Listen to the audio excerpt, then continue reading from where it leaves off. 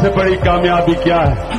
कि मैंने पाकिस्तानी कौम को शूर दिया, सोच दी, हौसला दिया कि अपने हकूक के लिए खड़े हो।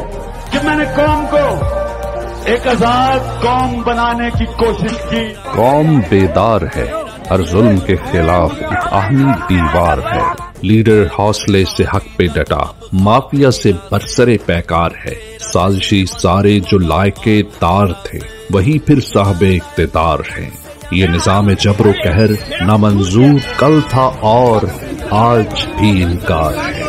हर हरबा कल भी बेकार हुआ था और आइंदा भी माफिया की हार है। हम फिर तैयार हैं। हर साजिश का जवाब देने के लिए, एक और मरहले से गुजरने के लिए। एक और मार्के के लिए हमारे मज़बूत अजायम पुख्ता इरादे और बुलंद हौसले हमारे लीडर की आज़ादी का परवाना होंगे। बिलाकर फतह हक और इंसाफ की ही होनी है। हमें यकीन कामिल है कि मुल्क कौम का आने वाला कल शानदार है।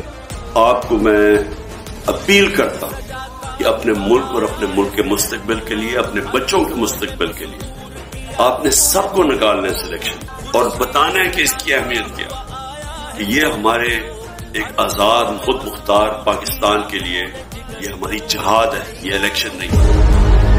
एक और मार्का 21 अप्रैल 2024